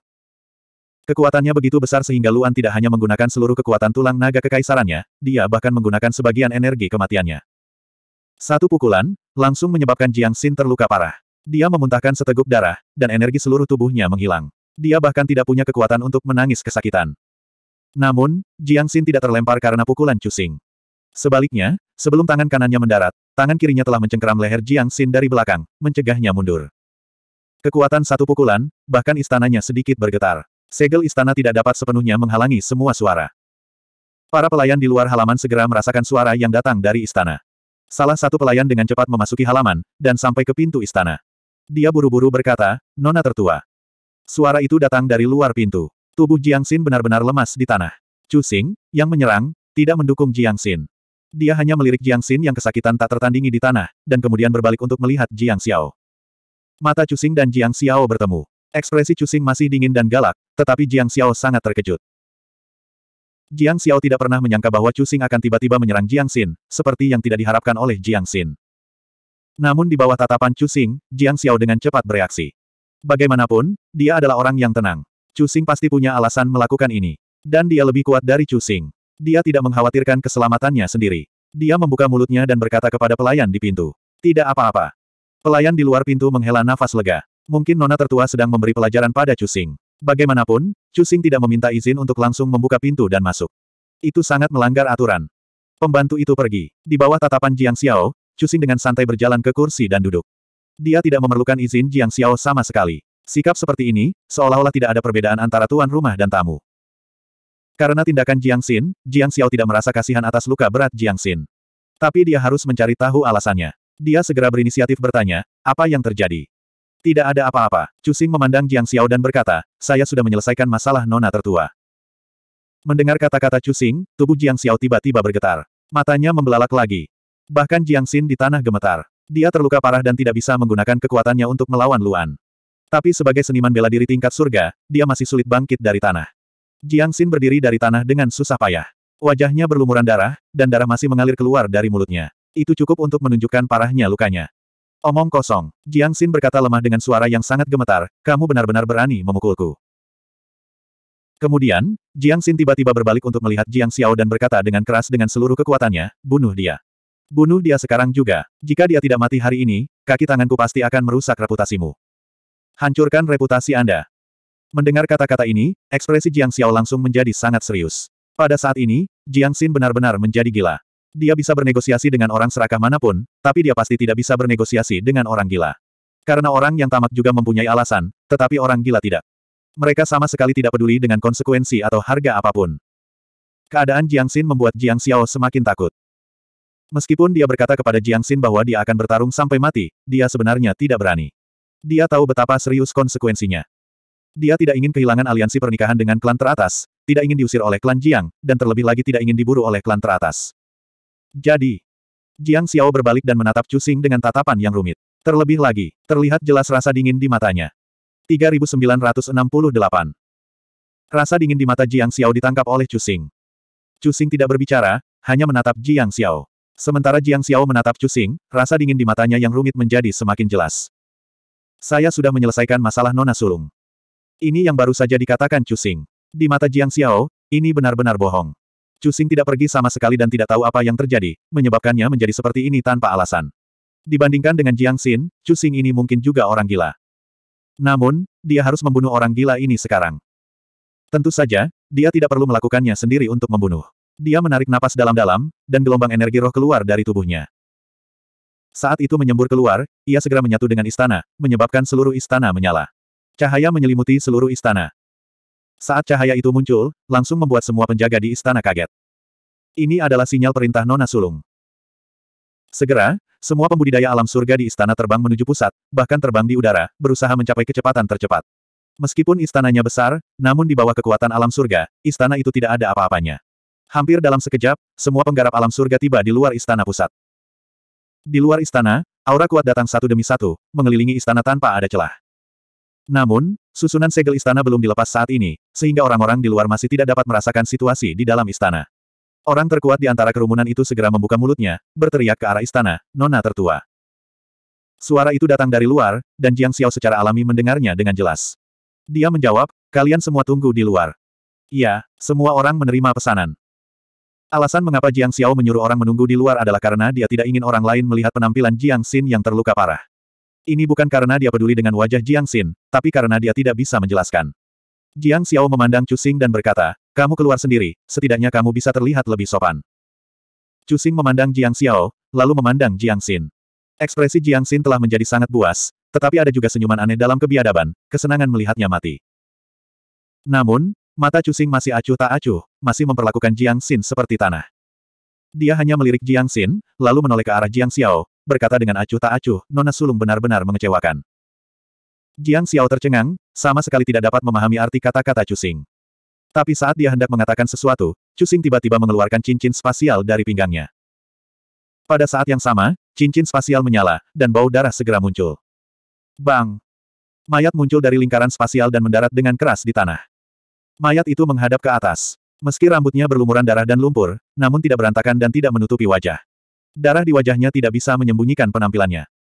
Ketika Jiang Xiao melihat wajah orang ini, dia segera berdiri dari kursinya seolah-olah dia terkena pukulan keras.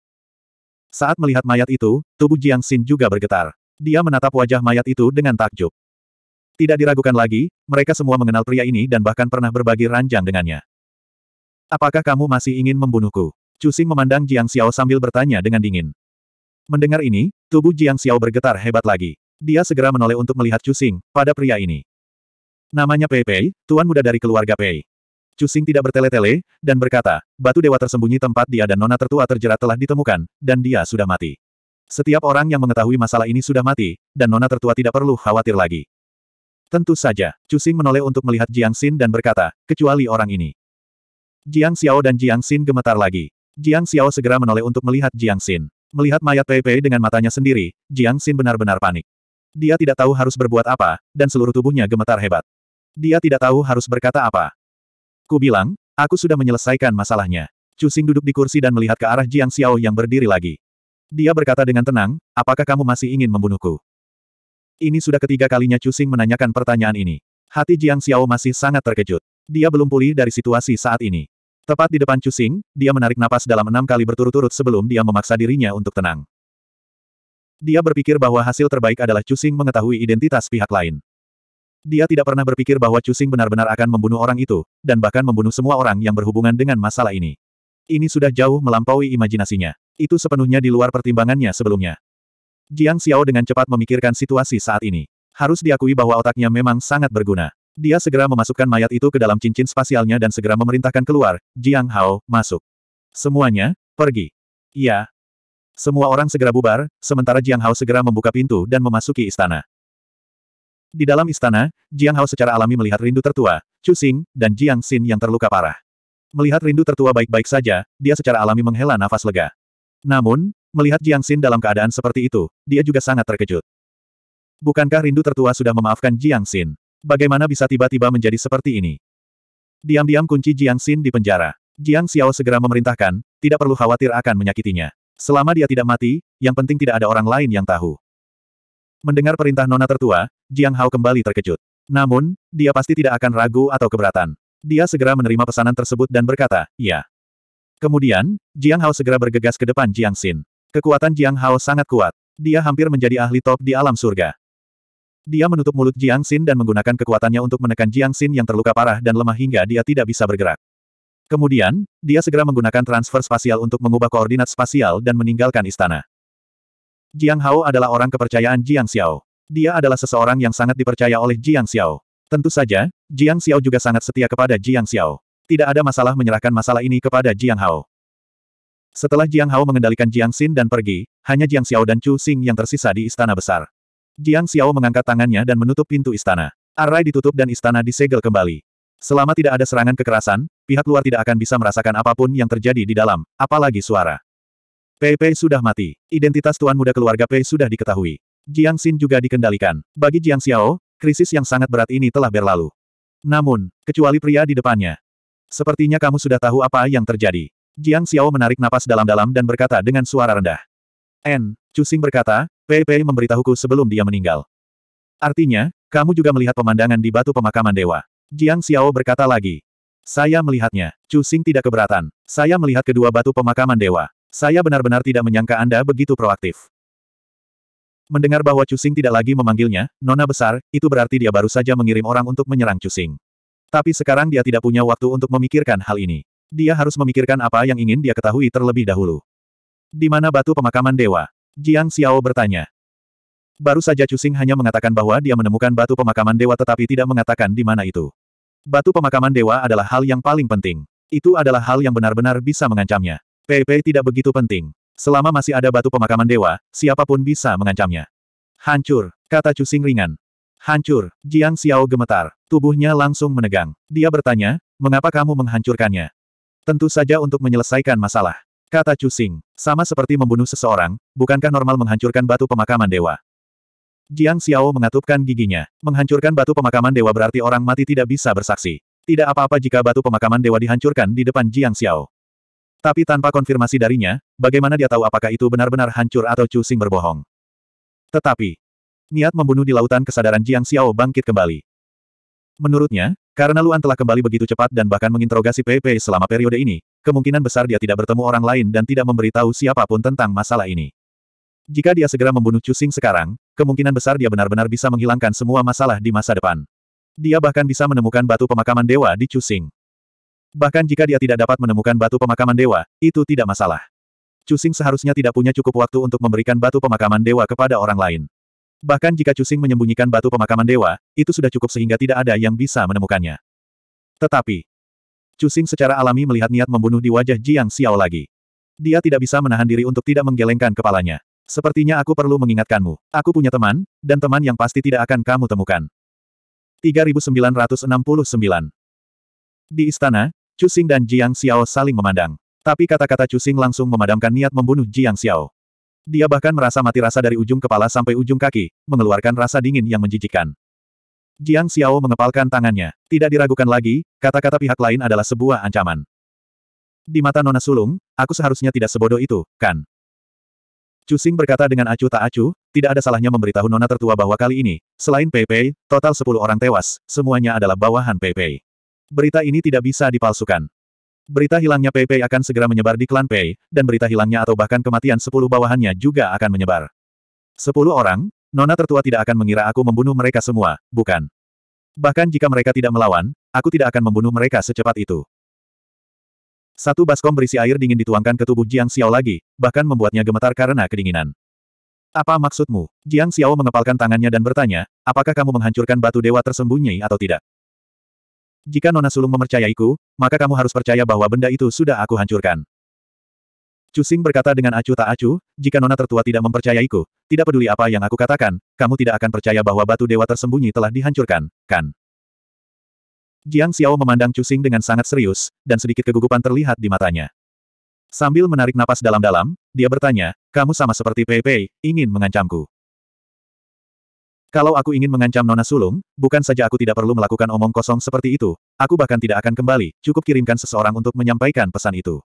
Bukankah kembali ke sini akan menambah bahayanya? Cusing bersandar di kursinya, menatap lurus ke arah Jiang Xiao, berkata, mengenai apa yang kuinginkan, Nona Sulung sebaiknya menebaknya. Mendengar ini, tubuh Jiang Xiao bergetar, dan tatapannya segera menjadi sangat serius dan rumit. Dia tidak membuka mulut untuk menjawab, tetapi duduk di kursi dalam diam selama sepuluh napas penuh. Sepuluh napas sudah cukup bagi tingkat surga untuk memahami terlalu banyak hal. Setelah sepuluh napas, sikap Jiang Xiao tiba-tiba berubah. Jiang Xiao yang awalnya murung dan serius, saat dia mengangkat kepalanya, seolah-olah awan telah terbuka untuk melihat matahari. Kekhawatiran di wajahnya benar-benar hilang, menggantikannya dengan bangsawan dan kebanggaan sebelumnya, seolah-olah dia langsung kembali ke nona tertua klan Jiang yang dia temui di perjamuan sembilan hari yang lalu, dan tidak ada yang terjadi. Untuk sesaat, bahkan Cusing pun tercengang. Dia tidak menyangka sikap Jiang Xiao akan mengalami perubahan sebesar itu. Kemudian, di bawah tatapan bingung Cusing, Jiang Xiao perlahan berdiri dari kursi.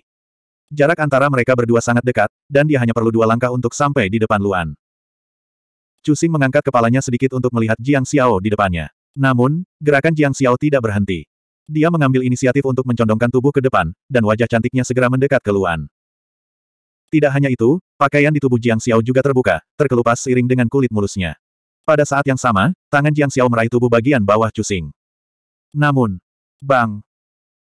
Cusing mengangkat tangannya, tangan kirinya menekan Jiang Xiao yang hanya berjarak setengah kaki dari wajahnya, tangan kanannya meraih telapak tangan yang menjangkau tubuh bagian bawahnya. Nona muda, Anda salah paham. Suara Cusing sangat dingin, jauh lebih dingin dari sebelumnya. Dia berkata, saya tidak tertarik dengan tubuh Nona. Tangan Cusing jelas bisa merasakan tubuh Jiang Xiao bergetar. Di sela-sela jari kiri Luan, Jiang Xiao, yang semula menutup mata indahnya, membukanya, dan kebetulan melihatnya melalui celah di antara jari-jari Cusing.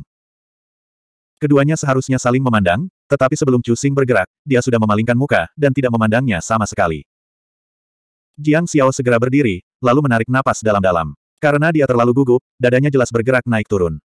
Dia bukan wanita yang bebas pilih-pilih. Dia sudah punya kekasih. Meski mereka belum menikah, dia pasti tidak akan rela membiarkan dirinya menjalin hubungan terlarang dengan orang lain. Karena itu, penolakan Chu Xing membuatnya menghela nafas lega. Namun di saat yang sama, hal itu juga membuatnya merasa khawatir. Dia tidak berani mengatakan bahwa dia memiliki kecantikan yang dapat menjungkir balikan dunia, tetapi kecantikannya jelas merupakan yang terbaik. Apalagi sosoknya sangat bagus. Cusing bahkan telah melihat batu penyembunyi dewa dengan matanya sendiri, jadi dia harus sangat jelas tentang sosoknya. Mendengar pertanyaan Cusing, dia langsung memikirkan hal ini. Dalam sepuluh napas, dia sudah membuat persiapan untuk menyerahkan dirinya kepada Cusing. Dikendalikan oleh Cusing jauh lebih baik daripada dikendalikan oleh PPI yang sangat bejat dan Jiang Xin yang gila. Selain itu, dia sudah menghibur dirinya sendiri bahwa ini adalah hadiah bagi Chu Xing untuk menyelesaikan masalahnya. Selama dia bisa mengendalikan Chu Xing di sisinya, akan sangat sulit bagi orang lain untuk mengetahui hubungan masa depan mereka. Namun meski begitu, Chu Xing telah melihat pesona dan kemampuannya di ranjang, dan sebenarnya tidak tertarik padanya. Ini sangat mengejutkannya. Setelah Jiang Xiao berdiri, Chu Xing menoleh untuk melihat Jiang Xiao. Dia mengangkat tangannya untuk memberi isyarat kepada Jiang Xiao agar duduk kembali. Jiang Xiao tidak menolak, dan duduk kembali di posisi sebelumnya. Tapi ekspresinya berubah serius lagi. Ekspresi alami dari sebelumnya telah hilang sama sekali. Melihat Luan, dia bertanya, kamu tidak menginginkan tubuhku, mungkinkah kamu menginginkan kemuliaan dan kekayaan? Atau semacam harta surgawi? Ketika kata-kata Jiang Xiao keluar, Cuxing menggelengkan kepalanya sedikit dan berkata, saya tidak tertarik dengan semua ini. Alis Jiang Xiao semakin berkerut, dan bertanya, lalu apa yang kamu inginkan? Cuxing tidak segera menjawab, tetapi mengangkat tangannya dan menunjuk ke bekas luka di luar matanya. Apakah kamu melihatnya? Cusing berkata dengan dingin, saya mencari orang yang mengubah saya menjadi seperti ini. Jiang Xiao tercengang saat mendengar ini, dan matanya yang indah membelalak. Karena dia tidak pernah menyangka bahwa Cusing sebenarnya mencari ini. Benar, dia sudah menerima banyak informasi tentang Cusing. Setiap lima hari, Cusing pergi ke Jiang Zhengxing untuk menanyakan apakah ada misi, dan dalam lima hari ini, tidak ada jejaknya sama sekali. Tidak ada yang tahu di mana dia berada, dan dia seperti sebuah misteri, datang dan pergi tanpa jejak. Lautan kesadarannya terluka parah, menyebabkan dia tidak dapat membuka alam Dewa Iblis, dan bekas luka di sekitar matanya juga disebabkan oleh hal ini. Orang seperti ini sangat mencurigakan. Karena itu, ketika Jiang Xiao mendengar jawaban Chu Xing, dia langsung mempercayainya tanpa keraguan sedikitpun. Orang ini sebenarnya bergabung dengan klan Jiang untuk mencari identitas orang yang melukainya. Jiang Xiao menarik napas dalam-dalam dan bertanya, orang yang melukaimu berasal dari klan Jiang. Tidak, Cusing meletakkan tangannya, dan berkata, saya hanya bergabung dengan klan Jiang untuk mencari informasi lebih lanjut. Orang yang melukai saya, berada di klan teratas. Ketika kata-kata ini keluar, tubuh Jiang Xiao bergetar lagi, dan dia menatap Cusing dengan kaget. Saya yakin, karena saat saya terluka, pihak lain telah menyebutkan hal ini sebelumnya. Cusing berkata dengan dingin, Nona besar terhubung dengan klan teratas melalui pernikahan, dan akan bisa memasuki klan teratas di masa depan. Ini adalah satu-satunya alasan mengapa saya menghabiskan begitu banyak upaya untuk membantu Nona Besar menyelesaikan masalahnya. Jika Nona Besar tidak memiliki kontak dengan klan teratas, saya tidak akan ikut campur sama sekali. Jika klan Jiang tidak memiliki informasi yang saya inginkan, itu sama sekali tidak berguna bagi saya. Saya akan langsung meninggalkan klan Jiang. Mendengar Cusing mengatakan ini, Jiang Xiao sangat terkejut. Dia benar-benar tidak berpikir bahwa tujuan sebenarnya Jiang Xiao tersembunyi begitu dalam. Tapi balas dendam memang salah satu motivasi terkuat, dan tindakan Chu Xing bisa langsung dipahami. Apalagi dengan kepribadian Chu Xing yang dingin dan galak, wajar jika dia membalas dendam.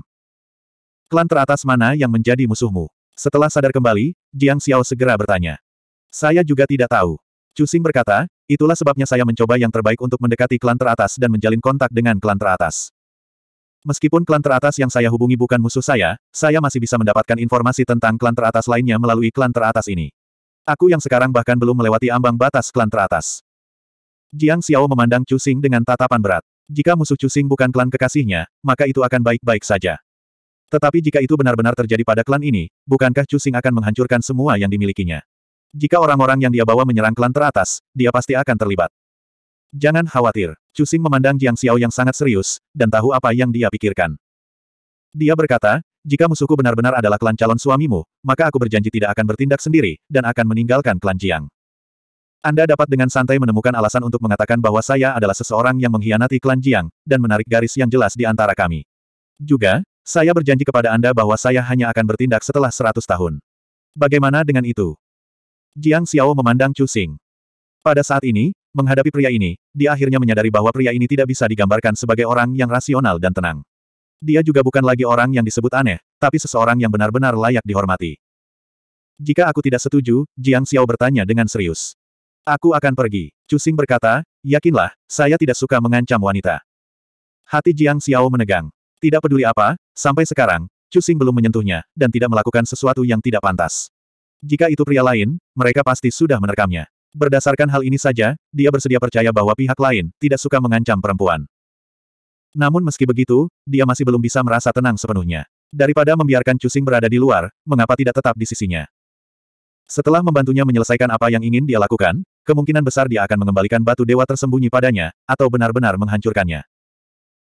Jiang Xiao mengerutkan kening dan berpikir lebih dari sepuluh napas, bahkan lebih lama dari sebelumnya. Setelah sekian lama, dia akhirnya mengangkat kepalanya, menarik napas dalam-dalam, dan berkata dengan serius kepada Luan, baiklah, aku akan membantumu. 3970 Jiang Xiao setuju, menyebabkan senyuman langka muncul di wajah dingin Chu Xing. Bagaimana Nona akan membantuku? Chu Xing bertanya. Sembilan hari kemudian, mereka akan secara resmi melamar klan Jiang. Jiang Xiao berkata, ini adalah berita yang hanya diketahui oleh panggung Raja Surgawi klan Jiang. Setelah lamaran, saya bisa masuk dan keluar klan mereka sesuai keinginan. Hari pernikahan resminya adalah satu bulan setelah lamaran. Setelah saya menikah dengan klan mereka, saya bisa membawa beberapa pelayan. Kamu bisa ikut denganku. Cusing sedikit mengangguk dan bertanya, bagaimana dengan sebelum pernikahan? Sebelum pernikahan, sebaiknya kamu tidak datang. Saya memang bisa membawa orang, tapi membawa laki-laki, dan laki-laki di luar klan, pasti akan menimbulkan kecurigaan. Itu tidak baik untukku, itu tidak baik untukmu. Jiang Xiao berkata, kamu tidak terburu-buru, kan? Tidak perlu terburu-buru. Cusing mengangguk sedikit dan berkata, karena itu masalahnya, mulai hari ini dan seterusnya, saya akan berada di sisi Nona. Dalam waktu satu bulan, Nona masih harus menemukan alasan untuk mempercayai saya. Kalau tidak, jika aku dibawa ke klan teratas setelah hanya berada di sisi Nona selama sebulan, aku akan tetap dicurigai. Jangan khawatir, karena aku sudah memutuskan untuk membawamu, aku tidak akan membiarkan hal buruk terjadi. Jiang Xiao berkata. Kalau begitu aku akan berterima kasih pada Nona dulu. Cusing berdiri dan berkata, jika tidak ada yang lain, aku akan pergi. Melihat Cusing berdiri, Jiang Xiao juga berdiri dan berkata, saya seharusnya berterima kasih kepada Anda. Saya belum berterima kasih kepada Anda karena membantu saya menyelesaikan masalah ini. Karena itu masalahnya, kita tidak perlu berterima kasih satu sama lain. Cusing berkata, kita masing-masing mengambil apa yang kita butuhkan. Ketika saya mengetahui identitas musuh, saya akan pergi. Saya tidak akan merepotkan Nona. Baiklah, Jiang Xiao berkata. Cusing menangkupkan tangannya dan berbalik untuk berjalan menuju pintu. Dia mendorong pintu istana dan menutupnya dari luar. Dia perlahan-lahan pergi dan menghilang dari pandangan Jiang Xiao. Melalui jendela, Jiang Xiao melihat Chu Xing meninggalkan halaman. Dia menarik napas dalam-dalam dan duduk lagi. Terlalu banyak hal yang terjadi secara tiba-tiba. Serangan mendadak Jiang Xin dan Pei Pei membuatnya merasa seperti jatuh ke dalam gua es. Dia hampir putus asa. Chu Xing tiba-tiba menyelesaikan semua masalahnya untuknya, membuatnya lengah. Hatinya yang putus asa bahkan tidak punya waktu untuk melakukan pemanasan. Saat ini, dia duduk di kursi dengan linglung. Setelah sekian lama, Jiang Xiao akhirnya tenang. Dia akhirnya bisa menerima kenyataan bahwa dia telah lolos dari mimpi buruknya. Sekarang Jiang Xin telah dikurung olehnya, meskipun Chu Xing mungkin memiliki sesuatu yang dapat digunakan untuk melawannya, selama pihak lain benar-benar ingin melakukan sesuatu, dia tidak takut pihak lain akan mengkhianatinya. Jika Chu Xing ingin dekat dengan klan teratas, dia harus melaluinya. Jika sesuatu terjadi padanya, Chu Xing juga akan kehilangan kesempatan langka. Hanya saja Chu Xing ini, memang telah melukiskan goresan yang tebal dan berat dalam hidupnya. Masalah yang diciptakan Jiang Xin dan Pei Pei untuknya sudah cukup untuk menghancurkan hidupnya.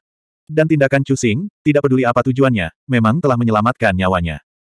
Tentu saja, dia tidak dapat sepenuhnya percaya bahwa Cusing tidak akan menggunakan batu dewa tersembunyi untuk mengancamnya di masa depan, tapi setidaknya tidak sekarang. Dia bersedia mempercayai orang dengan kepribadian dingin ini. Adapun Pei Pei dan Jiang Xin. Memikirkan dua orang ini, Jiang Xiao tidak bisa menahan diri untuk tidak mengepalkan tinjunya. Keluarga Pei. Dia secara alami tahu tentang keluarga Pei, tetapi kedua keluarga itu selalu memikirkan urusan mereka sendiri dan jarang berinteraksi. Bahkan lebih mustahil baginya untuk melihat tuan muda keluarga Pei. Dia tidak menyangka bahwa orang yang telah menyakitinya adalah tuan muda keluarga Pei. Meskipun dia tidak bisa membunuh musuhnya secara pribadi, mayat itu masih berada di lingkaran spasialnya. Dan Jiang Xin. Jiang Xiao semakin mengernyit. Harus dikatakan bahwa cara menghadapi Jiang Xin adalah yang paling sulit. Jika Jiang Xin adalah anggota klan normal, dia bisa langsung menghukum dan membunuhnya, tetapi Jiang Xin adalah putri saudara laki-laki keempatnya. Dia bisa melukai Jiang Xin dan mengirimnya kembali. Kakak keempatnya tidak akan menyalahkannya, tapi dia pasti tidak bisa membunuh Jiang Xin. Karena membunuh Jiang Xin membutuhkan penjelasan. Tapi, begitu dia melepaskan Jiang Xin, orang gila ini kemungkinan besar akan menyebarkan rumor. Namun pada saat itu, meski tidak ada bukti, hal itu tetap akan merusak reputasinya. Klan teratas mungkin juga menyerah untuk menikah dengannya karena reputasi mereka. Tidak. Bukan karena dia tidak bisa membunuh Jiang Xin, selama Jiang Xin tidak mati di sini. Menarik napas dalam-dalam, mata Jiang Xiao tiba-tiba menjadi tajam. Dia segera menyiapkan susunan teleportasi dan menghilang dari istana. Tanda pisah tanda pisah tanda pisah. Tanda pisah tanda pisah. Bima sakti bagian luar, pada bintang tanpa nama. Cahaya berdarah muncul. Dalam susunan teleportasi, sesosok muncul di bintang. Itu adalah Jiang Xiao. Susunan teleportasi tidak berada di permukaan, tetapi jauh di bawah tanah. Lebarnya hanya 100 kaki, tapi itu adalah penjara yang cukup besar untuk memenjarakan seorang penggarap alam surga. Ada susunan penindasan yang kuat di dalamnya. Area ini juga berada pada level alam surga, jadi yang terbaik adalah melukai orang yang terkunci di dalamnya terlebih dahulu. Susunan ini dapat menekan luka orang tersebut dan mencegahnya pulih. Mereka tidak mempunyai kekuatan untuk menghancurkan susunannya. Ketika Jiang Xin tiba, dia sudah terluka parah, jadi dia tidak perlu melawan. Jiang Hao secara alami ada di sana. Ketika dia melihat Jiang Xiao tiba, dia segera menangkupkan tangannya dan berkata, Nona muda. Jiang Xiao sedikit mengangguk dan berkata, kamu bisa kembali. Iya, Jiang Hao menerima perintah tersebut dan segera meninggalkan bintang tersebut. Di bintang besar itu, hanya Jiang Xiao dan Jiang Xin yang tersisa. Jiang Xiao terluka parah akibat pukulan Cusing, dan itu adalah cedera internal yang sangat serius. Sekarang, Cederanya tidak hanya membaik, tetapi malah semakin parah. Jiang Xin bahkan tidak bisa berdiri, dan hanya bisa duduk di tanah dan menatap Jiang Xiao. Jiang Xiao berjalan selangkah demi selangkah di depan Jiang Xin. Melihat Jiang Xiao, Jiang Xin secara alami mundur ketakutan. Pei Pei sudah mati, dan batu dewa tersembunyi dihancurkan. Dia tidak lagi memiliki kemampuan untuk mengancam Jiang Xiao, hanya rasa takut. Jiang Xin sangat jelas tentang kepribadian bibinya. Jika dia melakukan hal seperti ini, dia akan mati jika dia tidak berhasil. Bang! Jiang Xiao menendang tubuh Jiang Xin dengan keras, segera membuat tubuh lemah Jiang Xin terbang. Dia menempel di tanah dan terbang mundur. Ledakan. Tubuh Jiang Xin terbanting keras ke dinding 300 kaki jauhnya, memantul dan jatuh ke tanah. Dia memuntahkan seteguk darah, yang segera menyebar ke tanah. Tendangan ini membawa Jiang Xin, yang sudah terluka parah, ke ambang hidup dan mati. Itu hampir berakibat fatal. Jiang Xin benar-benar tergeletak di tanah, tidak bisa bergerak. Seluruh dirinya seperti ikan di ambang kematian. Dia hanya bisa bernapas lemah di genangan darah. Dia bahkan tidak bisa membuka matanya. Kehidupan Jiang Xin akan segera berakhir. Dia tidak akan bertahan lebih dari 20 tarikan napas. Jika dia tidak menerima perawatan dalam 20 tarikan napas, dia pasti akan mati. Pada saat yang sama, Jiang Xiao muncul di hadapannya lagi. Melihat Jiang Xin dalam genangan darah, Jiang Xiao melihat ke bawah dari atas. Jiang Xin hanya bisa membuka separuh matanya, dan hanya bisa melihat sepatu Jiang Xiao. Dia tidak bisa mengangkat kepalanya untuk melihat wajah Jiang Xiao. Makhluk jahat. Jiang Xiao dengan dingin berkata, Aku hanya akan memberimu satu kesempatan untuk hidup. Segera korbankan kesadaranmu kepadaku, jika tidak kamu akan mati di sini. Jiang Xin, yang berada dalam genangan darah, dapat dengan jelas merasakan hidupnya semakin menjauh. Bagaikan bendungan jebol, air danau pun memancar keluar. Dia tahu dia akan mati. Dia tidak membutuhkan ancaman apa pun. Nyawanya yang semakin menjauh adalah ancaman terbesar. Meskipun dia gila, dia tidak ingin mati. Di hadapan ancaman nyawanya, dia tidak berani berjudi. Dia hanya bisa mengambil sedotan terakhir ini. Dibandingkan dengan Jiang Xiao, Jiang Xin masih terlalu berpengalaman. Tubuh Jiang Xin sudah diambang kematian, namun lautan kesadarannya masih utuh. Dia tidak menderita terlalu banyak kerusakan. Oleh karena itu, dia segera memisahkan sebagian kesadarannya dari dahinya dan mengirimkannya langsung ke Jiang Xiao. Jiang Xiao melihat cahaya ini dan menyerapnya ke dalam gelabelannya, memasuki asal mula Divine Sense-nya. Bas! Lautan kesadaran Jiang Xin berdengung, menyebabkan tubuhnya bergetar. Pengorbanan kesadarannya telah selesai. Jiang Xiao segera mengeluarkan pil dan memasukkannya ke dalam mulut Jiang Xin. Kemampuan penyembuhan yang kuat segera membanjiri tubuh Jiang Xin, dengan paksa menariknya kembali dari ambang kematian. Pengorbanan kesadarannya telah memastikan kendali penuh Jiang Xiao atas Jiang Xin. Sejak saat itu, Jiang Xin akan diperbudak olehnya selama sisa hidupnya, tanpa kemungkinan pengkhianatan. Dengan cara ini, dia benar-benar merasa nyaman dan membiarkan Jiang Xin kembali ke sisi Jiang Ping, memastikan tidak terjadi apa-apa. Pada titik ini, Jiang Xiao menarik napas dalam-dalam. Masalah ini akhirnya terselesaikan. Namun banyak hal telah terjadi. Bagaimana hatinya bisa ditenangkan?